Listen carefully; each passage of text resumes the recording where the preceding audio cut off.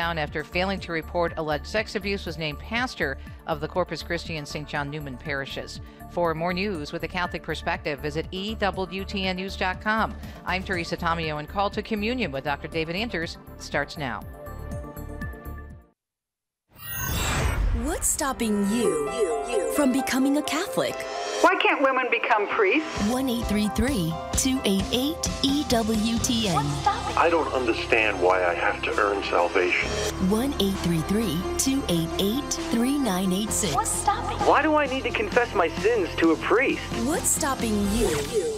This is Called to Communion with Dr. David Anders on the EWTN Global Catholic Radio Network. Hey, everybody, welcome again to Call to Communion here on EWTN. This is the program for our non Catholic brothers and sisters. If you have a question about the Catholic faith, or maybe you just like to tell us why you are not a Catholic, we'd love to hear about that. 833 288 EWTN is our phone number. Call it uh, toll free right now. 833 288 3986. Now, if you're listening to us outside of uh, North America, please dial the U.S. country code and then 205 271 2985. You can also text the letters EWTN to 55000. Wait for our quick response. It'll take really literally five seconds. And then as soon as you get that, then you can put in your first name and your brief question. Message and data rates may apply. And of course, you can always send us an email, ctc at EWTN.com, ctc at EWTN.com. Charles Beery is our producer. Ryan Penny is our phone screener. Jeff Burson is on social media. If you want to ask your question via YouTube or Facebook, you can do that right now just by going to the comments section, putting in your question. Jeff will shoot that to us here in the studio. I'm Tom Price along with Dr. David Anders. Tom, how are you today? Very well. How are you, my friend? Oh, you know, I'm hanging in there. Thank you. Quick uh, lunchtime update. What was it today? Oh, brown rice, quinoa, broccoli, mushrooms, tomatoes, grapes, green tea. You know, just standard kind of Anders fare. You are so doggone healthy. I'm working on it. I'm, I'm glad. Uh, we, we want you around here for a while. Well, I appreciate that. We're going to lead off with an email from Joe who says, Why should I be Catholic? Don't all religions worship the same God? Okay, thanks. I really appreciate the question. Uh, those, are, those are two different questions, actually. And with respect to the first question, don't all religions worship the same God? I think that's pretty manifestly false, right? That's pretty manifestly false. So, uh, you know, when the ancient Phoenicians, for example, were offering human sacrifice of, of human infants, uh, this is clearly not something the God of the Hebrews condoned, right? And their God did, right? And the Babylonian fertility gods uh, had completely different interest and personality and required a different kind of worship.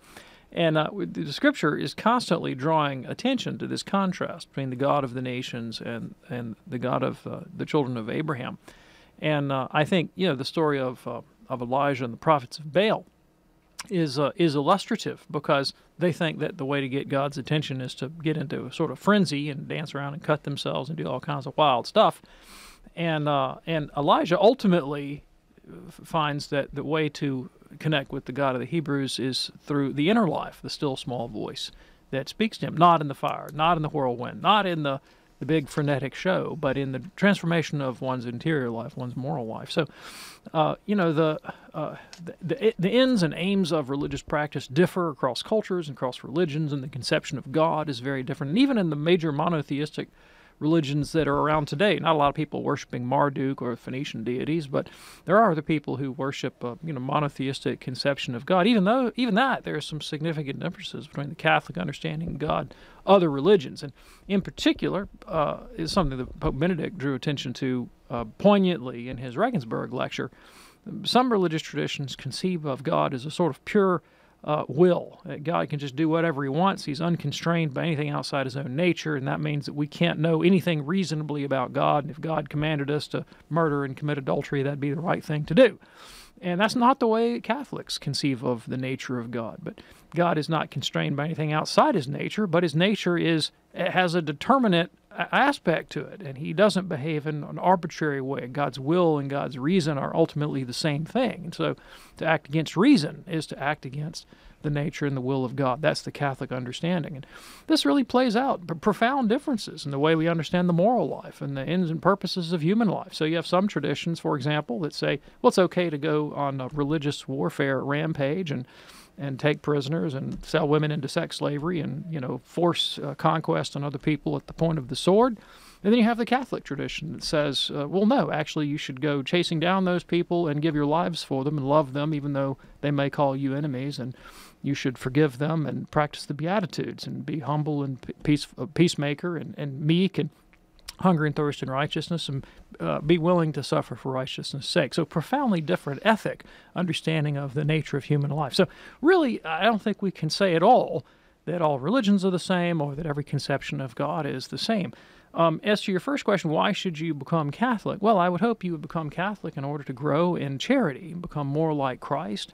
Uh, and uh, and to become more fully the person that you already are, right? God made us in His likeness and image, means He gave us this capacity for rationality, human freedom, and ultimately for being able to give ourselves in the kind of relationship that we call love. And uh, and but we all have a hard time doing that. We act irrationally. You know, our wills and our passions are not always uh, in submission to our, our better judgment, and we have a hard time loving ourselves and other people. And we need grace in order to do that. The promise of the Catholic faith is that we regain in Christ what we lost in Adam, namely to be in the likeness and image of God. All right, and we thank you so much uh, for your email, Joe. Here's a quick question now from uh, Rosa on YouTube. Rosa says, My daughter was told we do not need to pray to Mother Mary. Is that true? What advice can I give her? Okay, um, yes. So, you know, I would love to know what the context of that remark was and who made it, right? Because it would kind of depend on who said it and what they thought they meant. Mm-hmm. Uh, uh, it, it, the simplest way to answer this question of, of course, we need to pray to Mother Mary because God has commanded us to do so and desires that we do so. Um, because He doesn't want to save us apart from the communion of saints, apart from the fellowship of His body, which is the church. You know, there are some religious traditions, not the Catholic faith, that think that salvation means sort of being yanked out of society and history and time and space into this sort of utterly interior and personal relationship with God that can ignore my neighbor. That's kind of how they think about mm. salvation. Uh, Catholic Church doesn't think that. It thinks that the, the life that we live in the flesh is very much intertwined with our hope for eternity. And, you know, the biggest problem that every uh, orangutan has is other orangutans, right? well, the biggest problem that most people have is other people, mm, and yeah. learning how to live well together and charitably is uh, is quite a challenge. And so, salvation means correcting these wounds of human nature, enabling us to live charitably with one another, and so we are saved in and through a society.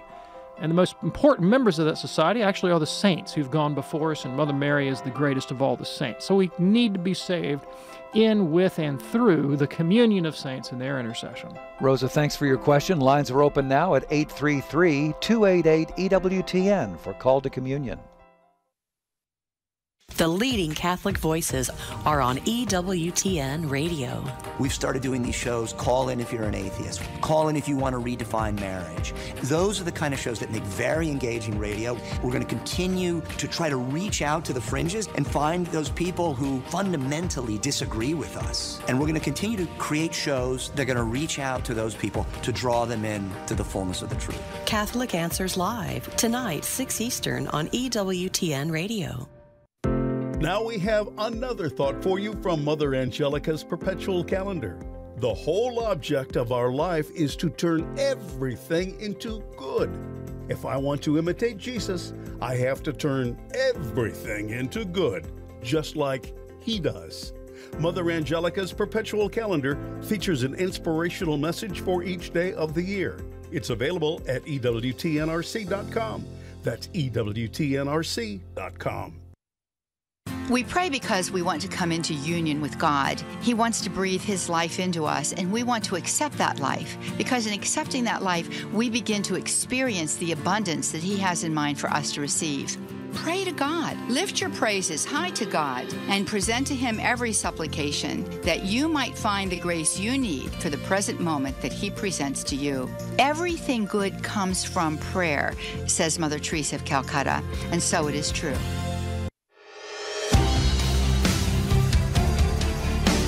It's called a communion here on EWTN. Our phone number 833-288-EWTN. That's 833-288-3986. I want to tell you about something that is really cool and it's available right now from our religious catalog, EWTNRC.com.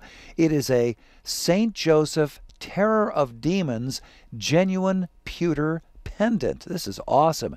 It's a nicely detailed pewter metal featuring a beautiful image of the Holy Family with St. Joseph, terror of demons, shown using his staff as a spear, pinning a demon under his foot. Now, you know, the title Terror of Demons is taken from the powerful Litany of St. Joseph. And I know that our friend Father Wade Menezes likes to uh, always invoke St. Joseph, Terror of Demons, pray for us. Well, this genuine pewter oval metal is packaged with an embossed decorative pamphlet that contains information about St. Joseph and a prayer just for you. It comes with a 24 inch stainless steel endless chain, very nice, exclusively uh, designed for EWTN, so it's quite unique. Available right now at EWTNRC.com. There's free standard shipping on online orders of $75 or more, and uh, that is for the continental U.S. only. Uh, be sure to use the code FREE at checkout. Again, uh, you can check it out by going to EWTNRC.com. Look for that St. Joseph Terror of Demons genuine pewter pendant. It is fantastic. If you're ready now, let's go to the phones at 833 288 EWTN. We begin with John. John is in New Orleans, listening on Catholic Community Radio, a first time caller. Hello, John. What's on your mind today? Good afternoon. I'm I'm I'm getting to be an unpracticing Catholic, and I'll tell you why. My Protestant friends say why should they become a Catholic? The Catholic Church don't enforce the rules. For instance, they're against abortion and same-sex marriage, but Joe Biden gets absolution and communion from the Catholic Church when it's against the laws of the church. How can that be? There's no reason for it. Okay, thanks. Yeah, I really appreciate the question. So I guess where I'm stumbling a little bit over the question is why why I should concern myself with some other Catholic's practice of the faith and some other bishop's administration of church law uh, and how, how that affects my own life of faith, hope, and charity. Now, it's a scandal if somebody in the church is doing wrong and they're not held accountable in the proper way. That would that could be potentially scandalous. Uh, and Christ says a lot about scandal in the Gospels. He says, "Woe to those that call scandal! Better that they be thrown into the sea with a millstone tied around their neck." I mean, it's bad news to call scandal, but uh, but if I'm well instructed in the faith, I understand that you know bishops and politicians are human beings, and uh, and and they have may have various motives for their activities, but I'm not judged by them. You know, I'm judged by my adherence to the truth and my own progress in faith and charity, and uh, and it could be a convenient excuse for me to plead scandal in somebody else's case. And well, I'm not going to, you know, I'm not going to live my life well because this other guy's not doing a great job. Uh, that's not going to get me off the hook, right? And I, I understand that, that uh, people do things, right? That's part of the human condition. Mm-hmm. Um, and uh, and that's not going to stop because I become Catholic or not. I mean, Jesus himself, when he talks about the nature of the church, he, he explicitly teaches us is going to consist of wheat and tares, good and bad, right and wrong, people with good judgment, people with bad judgment, and uh, and that will be a perennial source of scandal to the to you know people with weak consciences, and so those who cause scandal are responsible for that. Uh, but he doesn't say that there's not going to be scandal. He says there are going to be scandals and there are going to be controversies and there there there are going to be you know people of sort of varied moral conditions in the church uh, because the church is a collection of sinners who are trying to be saints. Right? I mean that's why we have the sacrament of reconciliation. Jesus gave this sacrament to the church because he expected the members of his church to commit grave sin. That's why the discipline exists. It doesn't exist for the sake of venial sins. I mean, it can be used for that, yeah. but it, it exists for the sake of reconciling major sinners within the Catholic faith. And we hope it be used well, right? So, you know, I guess uh, from my point of view, what's more pertinent is is the faith true? Does it make people holy? Does it does it bring us to God? And the proof of that is not in its uh, uh, the members that fail, but in the ones that succeed. So I look to the saints.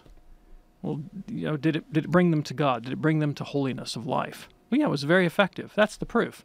When somebody doesn't make use of the sacraments and doesn't live a holy life, that doesn't disprove the faith. It just proves that they didn't lay hold of it. They didn't cooperate with Yeah. it. Now, when it comes to you know this specific issue, um, you know, not talking in general terms, but specifically, I mean, it's way above my pay grade to judge, you know, why some particular bishop exercises his office the way he does, what his reasons, what he may be doing behind the scenes that I don't know about, uh, what kind of uh, theological or political calculations enter into his judgment.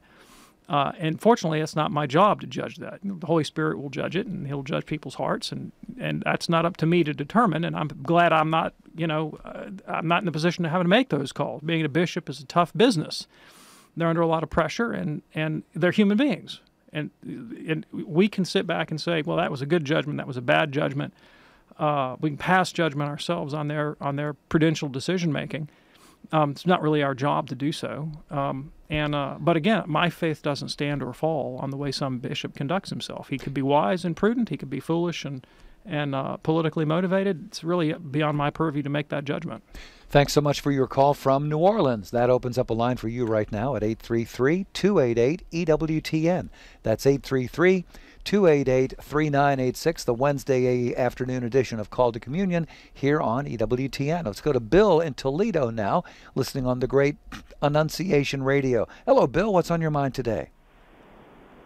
Yeah, hi, Dr. Anders. Uh, yeah, I was, was just wondering about Matthew 23 uh, 9. Sure. Where Jesus tells us uh, that we are, uh, call no man your father on earth. Uh, what does that mean? Yeah, Uh, yeah, thanks. I really appreciate it. So there there are a number of passages in sacred scripture where Christ talks about familial relations. And the the most stark is even more striking than this. He says if you don't hate your father and mother and wives and children and your own life, you can't be my disciple.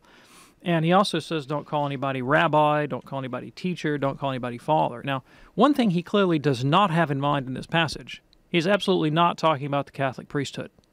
There's just no mention of that context at all. I mean, the context has to do with normal biological familial relations.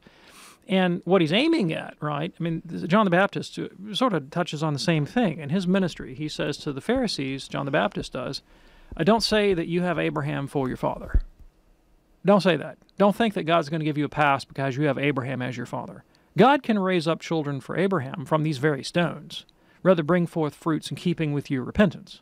That's the message of John the Baptist. You cannot rely on your physical parentage, you know, your heritage, uh, your race, ethnicity, nationality, you know, that you belong to the Rotary Club, whatever it might be. You can't rely on these things to get you into heaven.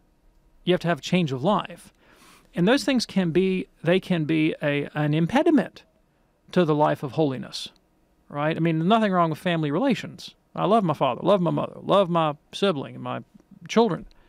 Uh, but misconstrued, those things can distract us from the life of holiness if the people around us are trying to drag us down. I mean, I Yeah. can't tell you the number of times on this show we hear from people to say, "Well, I'd like to become a Catholic, but, but my wife, my husband, my Mhm. parents, my Mhm. children, but, but, but," and Christ tells us we can't be those kind of buts.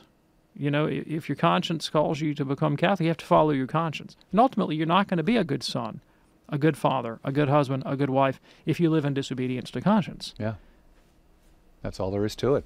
Appreciate your call, Bill. It is called to communion here on EWTN. Uh, Jeremy's watching us on YouTube right now. Jeremy says three big errors that prevent me from becoming a Catholic are the sale of indulgences, the Crusades, and the resistance to translating Scripture to the point of persecution. So, if the Pope sanctioned these things, how can he be infallible? Okay, so let me answer in a general sense about the Pope's infallibility, and then we'll maybe dig into some of these specifics. All First right. of all, infallibility does not mean that the Pope has good judgment. It doesn't mean that at all. I mean, and there's, there's absolutely no reason, there's no obligation. Catholics are not obligated to think that prelates and ordinaries and bishops and priests or themselves have good judgment. Not not obligated to think that. And obviously, there have been many popes and bishops in history that have had just horrific, atrocious judgment, have done really crazy things. That's why Dante, in his fictional poem, The Divine Comedy, he sticks some popes in hell.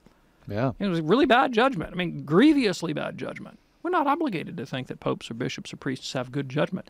You know, what Pope has a lot of jobs. Wears a lot. Well, he wears one big hat, right? But um, you know, back in the old day, the tiara looked like a bunch of hats stacked on Did. top of each other, right? You know, uh, has a lot of different uh, jobs he has to do in the church, and most important one, of course, is to is to keep the faith. And when he does that, when he actually teaches a matter of faith and morals to be held definitively by all the faithful, that act of teaching can be done well or badly, can be done prudently or imprudently, can be done in an opportune time or an inopportune time. But if he declares something to be a, a matter to, definitively held by Catholics in faith and morals, and he's preserved from error. That's all the church says. He's preserved from error. Error about the fact of the teaching. He's not preserved from bad judgment. Right. Now, let me let me really dig into this for a second because it's a it's an interesting point. There's a Catholic saint. Pope Francis made him a saint. Uh, saint uh, John Henry Cardinal Newman, probably the greatest Catholic theologian of the 19th century and one of the greatest modern Catholic theologians. Pope Benedict beatified him. Pope Francis uh, canonized him. So you understand he really has the approval of the church hierarchy of the popes.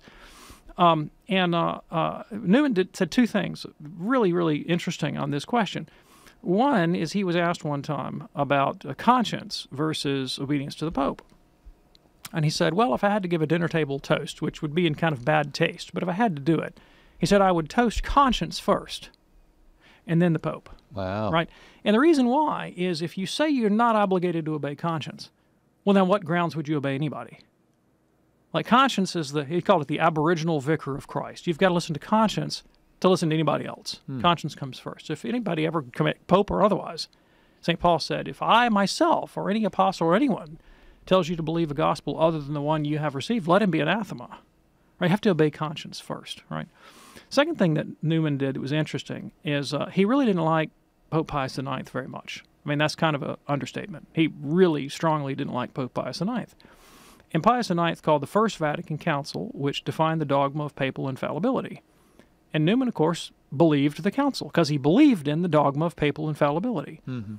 But he thought it was inopportune to define. So he was what you called an inopportunist. He said, "Look, I believe the I believe the doctrine. It's true doctrine, Uh-huh. but the church ought not to have defined it." Now, you know, subsequent opinion probably thinks that Newman was wrong on that, but doesn't matter. My point is, it's not incoherent to think that the Pope could say something infallibly true badly. Like that's how nuanced the doctrine is. Two plus two equals four. That's true, but it's a weird thing to say in a Catholic radio show. That was an inopportune assertion, right?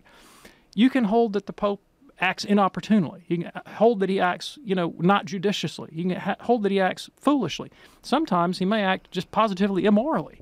Imagine the Pope, who, as a matter of policy, decides to declare war on a Venetian, you know, on, on the city-state of Venice or something, Hmm. as they were wont to do in the Middle Ages. Yeah. You know, I mean, they did that. It's a matter of papal policy. Let's go to war. Get on the horse, pick up a sword, go lop some heads, right?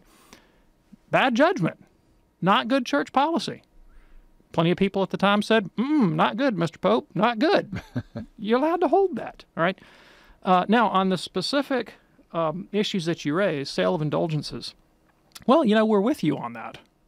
Not a good idea. Not a good, big occasion of scandal. Now, you know, to give you an idea of how that could evolve and how anybody could possibly have ever thought that was an okay thing to do, um, you know, the idea of doing penance. I'm gonna I'm gonna make some offering in reparation for my sin. That's a biblical idea. It's clearly a patristic idea. It's a Catholic idea, and you know Christ Himself appoints three specific kinds of penance: all right, prayer, fasting, and almsgiving when you when you pray in secret, you know, your Father in secret rewards you. When you give alms, give alms in secret, your Father in secret sees you in secret will reward you. When you fast, fast in secret, your Father will reward you. Christ is the one who says we can do these kinds of activities and merit reward from God. And so when a priest assigns a penance to a penitent, or you know the context of an indulgence, it'd be appropriate to say, well, you know, give alms, or or you know, go say these prayers, or maybe you should fast and uh, and you know there was a little creep, little indulgence creep over time, and give alms. Well, here here's a good project. You know, well they're you know, they're building this new shrine over here. Why don't you donate something to that? That'd be a nice penance for you. You know, and you see how that get a little at hand. Oh yeah. And that's basically what happened. It's you know a practice that was pious in origin uh, you know, you get some corrupt and, and sort self-motivated people involved, and something that's uh, that's not bad in its its genesis becomes quite corrupt over time. And of course, the church recognized this, and Luther's not the only one that recognized it. There are other Catholic reformers at the time said, "Look, this is a scandal. We need to get rid of this." Of course, today it's illegal to sell indulgences. Yep. Um, it comes to the other two questions were, oh, the Crusades. Uh, not enough time to do too much on the Crusades, except this: What would you do if you lived in Northern Europe in uh, uh, in the late Middle Ages, High Middle Ages, and uh, Muslims had completely devastated the Christian nation of Egypt, of Jerusalem, of North Africa, which was entirely Christian. They had taken over Baghdad, that used to be the largest Christian diocese in the world. They'd taken over Persia, that had a large Nestorian Christian population. The historic heartland of the Christian faith, which was the Middle East and North Africa and Asia Minor, had been completely devastated by Muslim advances, and they'd pushed all the way to the city of Tours in France, and they had avowedly imperialistic ideas, colonial ideas about conquering uh, Western Europe, making it Muslim. And of course, in the 16th century, they pushed them all the way to the gates of Vienna. Um, they were literally kidnapping Christian girls out of their beds at night from the coasts of Italy and they said, "We will bury you," you know, like uh, Khrushchev, like Khrushchev said, Yeah. right? And uh, and you're, what are you going to do? What are you going to do? You're going to take up arms and you're going to fight back. Sure. Try to defend your lands. Yeah. And that's the context of the Crusades. Okay, very good. And we thank you so much uh, for checking in with us on uh, YouTube, Jeremy. Appreciate that. In a moment, we're going to get back to the phones, talk with Sal in Detroit, listening on Ave Maria Radio. We've got a line open with your name on it as well 833 288 EWTN. That's 833 288 3986, the Wednesday afternoon edition of Call to Communion. Stay with us. In this year of St. Joseph, join us and make the 33 day consecration to St. Joseph tonight, 9 Eastern, after the Rosary with Father Groeschel on EWTN Radio. Why do we need to pray? We don't pray because God needs our prayers. We pray because we need God's grace. And every day, when I face the day, I realize I have no idea what I'm doing. and I need God to walk me through my day, step by step, giving me the grace, the counsel, the love, the encouragement that enables me to glorify Him in everything that I do and become the person He wants me to be.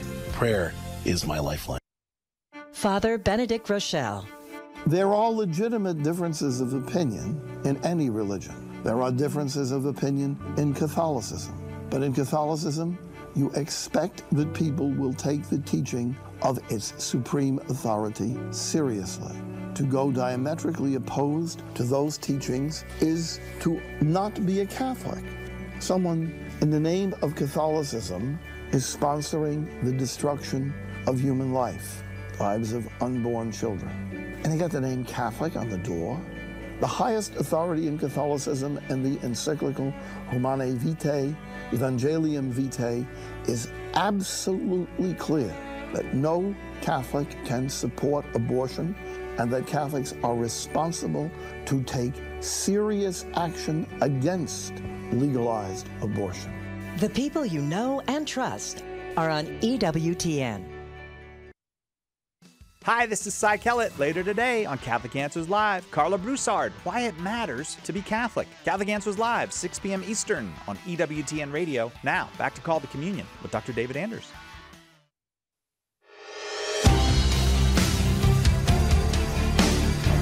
Glad you could join us for a Call to Communion here on EWTN. Three lines open. Three lines are in the screening process right now. 833 288 EWTN if you want to snag a line. 833 288 3986. Let's go to Sal right now. Sal is in Detroit listening on the great Ave Maria radio, a first time caller. Hey, Sal, what's on your mind today? Yeah, thank you for taking my call. Um, Jesus claimed he is our good shepherd and he doesn't want anyone to perish. When he was on the cross on Good Friday, he promised the robber on the right, today will be in paradise. You expect him to look to the one on the left who is dying. Why didn't he say, How about you? I mean, you know, uh, after all, the scripture is silent about this. Yeah, thank. What a great question. Really appreciate that. So you know, the story of uh, St. Dismas, the thief on the cross, the good thief, as you know, the whole context, the, the other thief begins to abuse Christ and to curse him.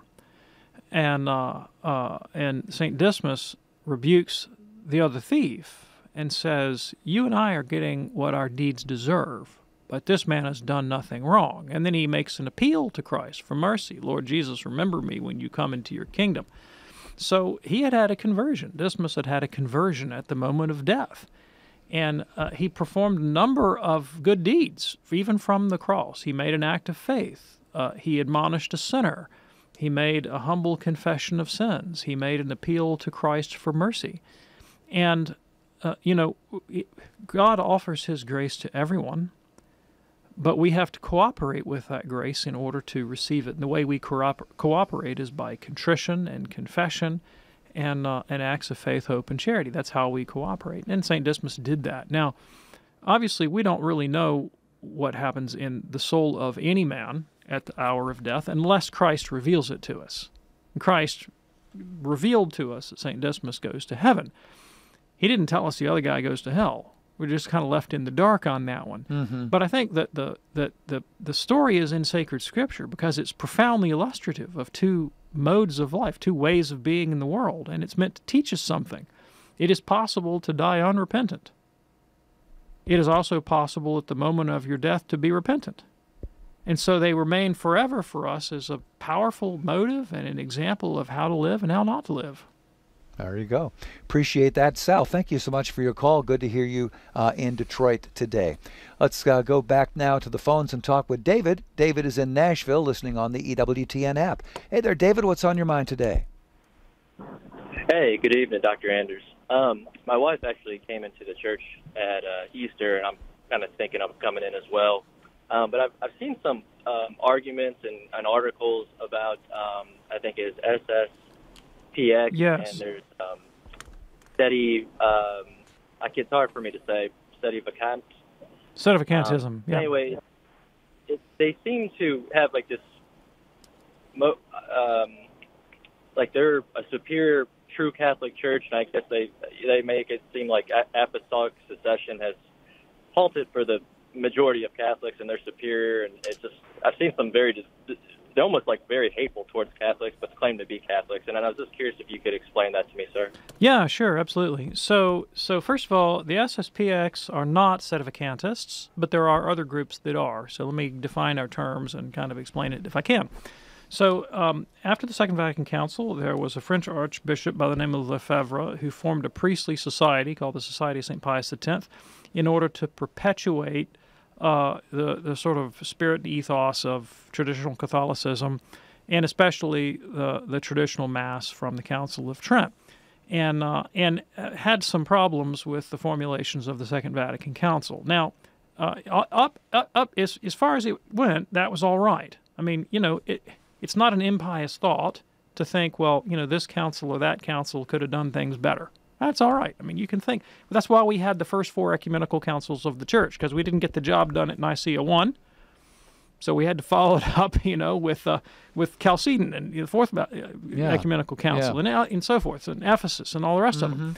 Um, and uh, so it's okay for to say, well, you know, we did something good, but we could we could improve, we could do better. Let's have another council and do some more work, right? That's not an impious attitude. Um, the problem was that uh, Archbishop Lefebvre began to take a very oppositional attitude towards the hierarchy and the Pope and the rest of the church. And, and Pope John Paul II said, You can't ordain bishops for your society. I mean, you can have a society, but you can't ordain bishops. Well, he went and ordained bishops anyway because he thought he was smarter than the Pope in a direct act of disobedience, whereupon he incurred the discipline of excommunication. He and all the bishops along with him and everybody else in the society got excommunicated. And they just kept on going, right? And uh, now, since then, the church has done a lot to try to reconcile these folks. Has lifted the decree of excommunication. Pope Francis even extended some special priestly faculties to members of their society so they can celebrate some of the sacraments for their own people. Uh, but all the while, they exist without any lawful jurisdiction in the Catholic Church. They have bishops, but they don't have any dioceses. So they don't actually enjoy any lawful jurisdiction in the church, um, and they don't have any kind of canonical status, and they operate in direct disobedience to the Pope. So the concessions that the Pope has made to the society are really just for the sake of the care of souls, people who've grown up in that society and never been really in communion with the Bishop of Rome or the bishops throughout the world. Uh, you know, caring for those souls. Pope says, okay, well, you can celebrate some sacraments for them, but you guys really got to come back. You got to come back into the obedience of the universal church, and they refuse. So they're really they're in a state of disobedience. And what motivates them, of course, is ideology. They have a, they have a traditionalist. I won't say traditional. I call it traditionalist ideology. Mm-hmm. And uh, and they've put their own judgment about the council and the church ahead of the virtue of obedience, right? And that's really not a very Catholic disposition. Uh, you know, throughout history, the saints uh, would uh, write these great theology texts, and they would usually append a kind of forward and say, "This is what I think." But if I'm wrong on anything, I defer to the church. Yeah. And uh, it'd be great if the SSPX would do that. That's what we think. But if we're wrong on any of this, we defer to the Pope. That'd be great. But they're not doing that. So they're not in obedience to the church. Um, now, with, with, when it comes to the these groups that you call sedevacantists, these are people. Uh, this is the lunatic nut job wing of the far right. To be honest with you, these are the guys that think that there is no pope. Right? They just think there's no pope. Yeah. That, that Pope Francis is not the pope, and Benedict wasn't the pope, and John Paul wasn't the pope. Um, they think the, see, the, the, the, the, See of Peter is empty. Now, um, you know, you can you can tie these guys down, and they'll talk you blue streak about canon law or this, that, or the other thing. But what it boils down to is they think that their private judgment of the intricacies of law and tradition is the final court of appeal. Right? So that's essentially a kind of Protestantism. You know, I, I and my conscience, my judgment, my theorizing are the highest authority. Now, uh, St. Augustine, way back in the fourth century, dealt with a similar group called the Donatists. They thought they were the only Catholic church. They thought they had the goods, and all the, all the other Catholics were out to lunch. And Augustine had a wonderful response to these folks. He said, You guys can't be the Catholic Church because you're just in North Africa. and Catholic means universal. yes. And we got we got like a ton of bishops all over the world, and they all know where the Catholic Church is. You guys can't be the Catholic Church. And a response to the Sedevacantists is the same thing, right? The Second Vatican Council was called by Pope. It was the best attended council in the history of the church. It bishops from all over the world. Every bishop in the entire world, they knew who the Pope was, John 23rd. They knew who the Pope that finished it was, Paul VI. They know who the Pope is now. I mean, heck, you can go out on the street in New York, stop a cab, and ask a guy in the cab, who's the Pope? He'll tell you it's the, the guy in Rome, you know, Francis, that guy. I mean, it's as obvious as the nose on your face. That's why I say it's a lunatic position, right? The entire world knows who the Pope is. All the bishops of the Catholic Church know who the Pope is, right? I mean, this is tantamount to saying the earth is flat. By the way, some of those guys think the earth is flat. I mean, I'm serious, all right? I mean, Yeah. I've talked to some of them, right? So uh, if being Catholic is about being conformed to Christ, that's what it's about. It's about trying to be transformed in my interior life in faith and charity so that I can manifest the Beatitudes poor in spirit, peacemaker, meek, humble, hunger and thirst for righteousness, pure in heart. That's what, that's what being Catholic is about, trying to live the life of Christ after Him. I in Him and He in me, right? It's not about trying to, uh, to, to concoct some ideologically pure system some puritanical sect and then lord it over the rest of humanity. Yeah. That's not the end of the Catholic faith. Okay. Is that uh, helpful for you, David? Uh, very much so, and I, I really appreciate the, the touch on the popes too, because you see the argument that no valid pope since 1958. I was like, this is very odd, and then Yeah. I, I even saw another argument that the uh, Chaplet of Divine Mercy was a false devotion, and that there's a, only supposed to be like a devotion to the Sacred Heart of Jesus, and I was like, well, this is even being a non-Catholic, you hear about the Divine Mercy Chaplet. I was just trying. It, it seemed like they were just kept butting heads with the, the Roman Catholic Church. Well, they make Yeah. Jesus into a liar because Christ said the gates of hell would not prevail against the church. And Yeah. they think it prevailed. That's not where we want to No. be. David, thank you so much for your call. It is Call to Communion here on E EWTN. Couple of lines open for you at 833 288 EWTN. That's 833 288 3986. I want to tell you about one of our wonderful weekend programs, Conversations with Consequences.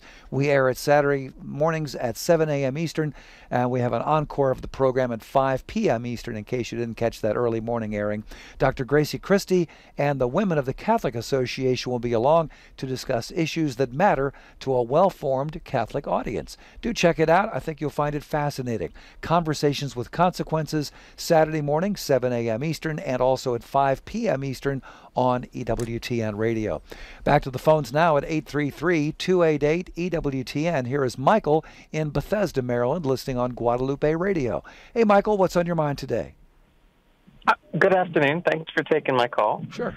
So I had a question about sort of a why behind divine revelation. How come um, either in public or private revelation, um, there's not, well, maybe not now, but there isn't usually um, any divine revelation of material or scientific truths, like either in the Bible or to the saints or to the church in some other way.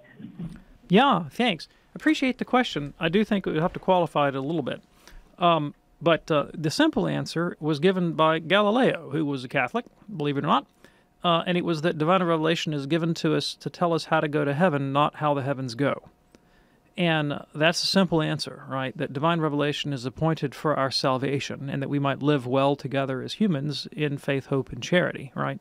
And, uh, and manifest the kingdom of God, which is Christ's reign in the hearts of his people. So that's the simple answer. And uh, that's what it's for. That's what it's appointed for. Now, um, it's not true, however, to suggest that divine revelation has no significance for our understanding or engagement in the natural world. On the contrary, the Christian doctrine of creation, the Christian doctrine of God, uh, the Christian doctrine of reason, and we have a very robust doctrine of reason, um, uh, the uh, uh and the Christian doctrine of the dignity of the human person, all had a profound impact on the evolution of Western consciousness and on the advent of the scientific revolution it is extremely significant that the scientific revolution occurred in the 17th century in in uh, in the Latin Catholic West, and no place else in the world. Didn't occur in any other place in the world, and the reason it occurred in the Latin Catholic West was because of the intellectual work that Catholic theologians had done, especially in the scholastic period of the High Middle Ages and Late Middle Ages, uh, developing theories of necessity and contingency. And uh, and Jean Buridan, who was a scholastic theologian who invented the theory of impetus that ultimately became uh, Newton's uh, um, uh, law of inertia, uh, and all of these things were developed within an explicitly theological milieu, right? And apart from that theological milieu, you wouldn't have had those scientific developments. Someone who's done a lot of work on that topic you might find interesting is the Catholic uh, theoretical physicist and priest and Benedictine monk Stanley Jaki, J A K I. His book, The Savior of Science, is about Christ as the progenitor, really, of the scientific revolution. Um, Stacy Trasancos has a kind of summary and resume of Stanley Jaki's work called Science Was Born of Christianity, which I would recommend to your attention. So, uh, immediately God gives us divine revelation for the sake of our souls and salvation and for the moral reform of the human race. Uh, but secondarily, that revelation has had a profound understand, influence on our understanding of the natural world. All right. Appreciate your call, Michael. It's called to communion here on EWTN. We do have a line open if you'd like to get in before we uh, wrap things up in about uh, 10, 15 minutes. 833 288 EWTN. That's 833 288 3986. Charlie is watching on YouTube. The authority and infallibility of doctrine given to the Pope sits uneasy with me and is preventing me from becoming a Catholic. Well, the Pope is human and humans are fallible. How does the Church justify this? Thanks, Charlie. And of course, we talked about this earlier in the show. Yeah, exactly. Uh, one word in your question tripped me up uh, doctrine given to the Pope. Ah. Mm, doctrine received by the Pope. It'd be a little bit, I, I'd prefer that word because it's not like the Pope sits around in the Vatican and waits for, you know, for some revelation to fall out of heaven on his head. That's not how it works, all right? the, the claim to infallibility is absolutely not a claim to prophetic inspiration or in, uh, uh, or any kind. Right? That's not what we're saying about the Pope. The Pope doesn't do anything other than teach the deposit of faith that's been handed down for two thousand years. So he's not he's not giving out new information. Right? He's protecting the deposit of faith given by Christ and the apostles from misapplication, from misinterpretation. Uh, and to do so is absolutely necessary for the coherence, the integrity of the faith.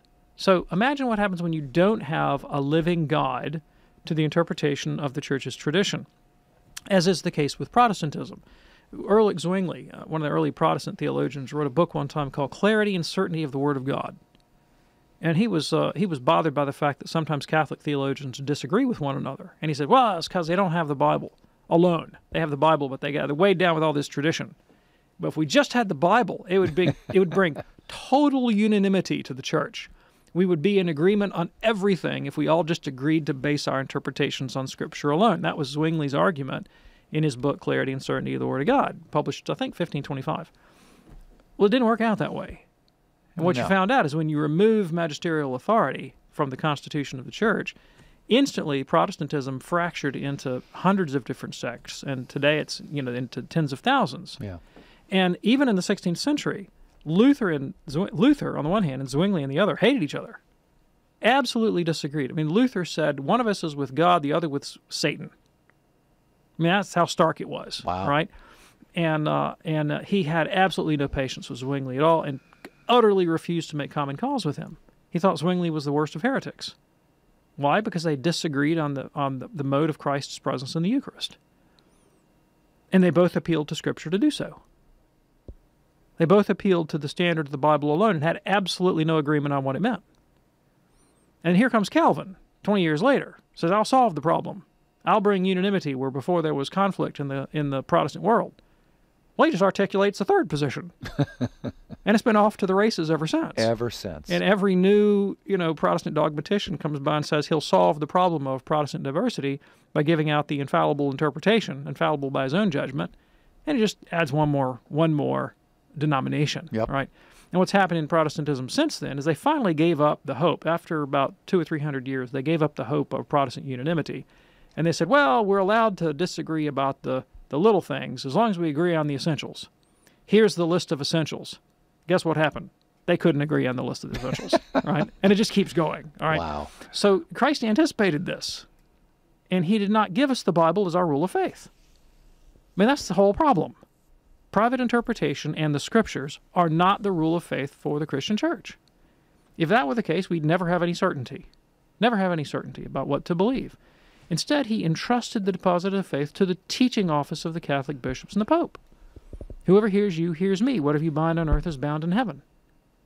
Now you say, I find that hard to believe. Of course it's hard to believe. Of course, transubstantiation is hard to believe. Doctrine of the Trinity is hard to believe. The doctrine of the two natures of Christ is hard to believe. The resurrection from the dead is hard to believe. But it's good to believe. And there are motives to believe it. And there's evidence for believing it. But ultimately, to trust in the infallibility of the church is not an empirical decision. I mean, I, I, I do think there's good empirical evidence, good historical evidence that the Pope has done his job over time.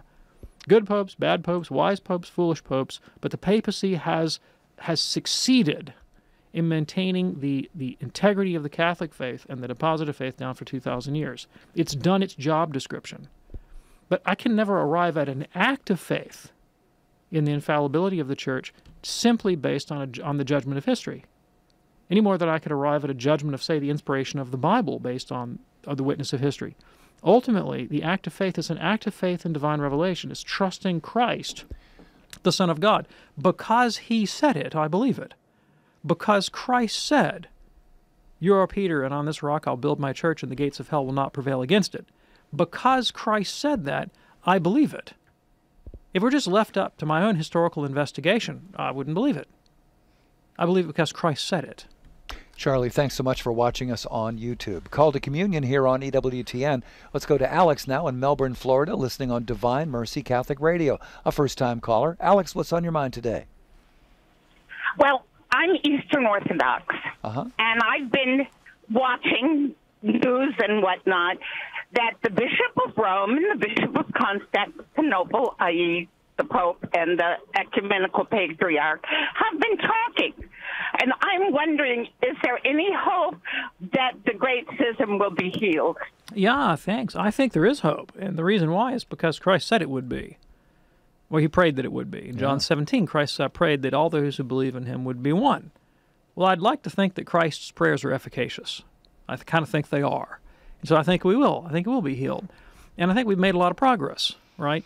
Um, so, you know, going all the way back to the pontificate of Paul VI, uh, Catholic Church has been in, in ongoing ecumenical dialogue with the ecumenical patriarch and also with other with other Eastern hierarchs uh, for quite a long time, and we've made a lot of progress. International theological discussions have, say, for example, arrived at sort of the general judgment that the Filioque clause uh, uh, that, that uh, Catholics and Orthodox don't really have substantive differences in their Trinitarian theology. There's a difference of tradition and language, uh, but this is not a deal breaker the way Photius thought that it was. Um, you know, from the Catholic Church's point of view, uh, Eastern Orthodox Christians are uh, Christians that have all the sacraments, they have apostolic succession. They're so close to the heart of the Catholic Church that Eastern Orthodox Christians are permitted in Catholic law to receive many sacraments in the Catholic Church. And I have Orthodox friends that come to the Mass and go to the Catholic priest for confession and come celebrate our ordinations with us. And Yeah. and uh, there's a real sense that like we're just like so close. Now I would also add, and I think this is worth noting, that the Catholic Church uh, does not seek to proselytize Eastern Orthodox Christians, and we don't urge them. We don't urge them to become Catholic because of this. Because there's an awareness that these this is this is really like a family squabble. You know, we're very very close, very very close together. And so our prayer is not that I can proselytize, you know, sheep steal this or that Orthodox Christian, but that we'll heal the whole breach, that the whole church will be reconciled in a loving communion. And uh, now, you know, whatever happens between the Pope and the ecumenical patriarch is wonderful. Um, you know, the Orthodox have kind of a hard time getting all on the same page themselves. You know, so you got Moscow out there. Yeah. You know, you got you got you know uh, they're different. They're different um, uh, uh, Orthodox sees, and they don't always get on the same page themselves. But as far as the Pope and the Ecumenical Patriarch, yeah, I mean, the Ecumenical Patriarch keeps a picture of John Paul II on his desk. That's pretty cool. Alex, uh, keep praying for unity. I think we have time for one more. Here is Chris in Claysville, Pennsylvania, listening on YouTube. Chris, what's on your mind today? Good. How you doing? Very good. Um, I have a question. My question was: is I went to a Catholic church today or last weekend for the first time in about 40 years. I'm becoming Catholic again, and my question is: at in the Protestant church, we give no reverence to Mary whatsoever. My concern is: is do we give too much in the Catholic church to it? Because the Catholic church I went to this weekend had very front and center, kind of like on a star or on a cross. It looked like a star, but it was like just like up and down and left and right. And there was seven stars on each side, and I didn't understand the seven stars. I could understand six stars for twelve tribes, but I was wondering what that was about. Yeah, thanks. So, first of all, um, to not show any reverence to Mary is to violate the Bible because Mary herself uh, prescribed and predicted that all generations would call her blessed. So, we need to be obedient to divine revelation the way we honor the Blessed Virgin. The book of Revelation, chapter 12, depicts the Blessed Virgin as surrounded by these stars. So, this is a biblical image, and it goes to um, the the biblical doctrine that Mary is the second Eve. You know, the first Eve confronted the serpent, and we were all sunk. The second Mary confronted.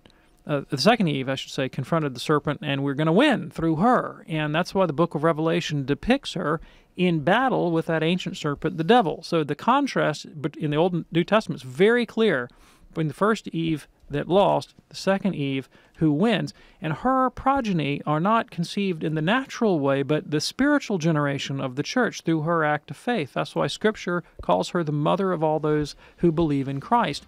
We are saved by Christ through the ministration of the church and her saints, and the Blessed Virgin is the greatest of all the saints. So, there, you know, you you cannot err by giving Mary too much devotion, kind of in intensity. Now, you know, we don't worship the Blessed Virgin Mary. We don't offer sacrifice to her the way we offer sacrifice to God in the holy sacrifice of the Mass. Um, but you know, you can't love your mother too much. That's right. There you go. Chris, thanks so much for your call and uh, glad to talk with you this afternoon. Hey, Dr. David Anders, a great show. Thank you so much. Thanks, Tom. Don't forget, we do the program Monday through Friday here on EWTN live at 2 p.m. Eastern. Please join us next time. And we have an encore for you tonight at 11 p.m. I'm Tom Price along with Dr. David Anders. We will see you then. Have a great day. God bless.